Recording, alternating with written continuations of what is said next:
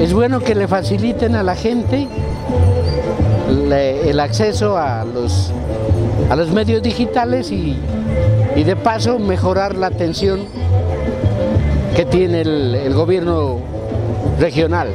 No tenemos ya que, que bajar, ir a alcaldía y a por internet es más fácil. No salir porque bueno, para uno como, como, anda en silla de ruedas es un poquito complicado moverse en la ciudad, ¿no?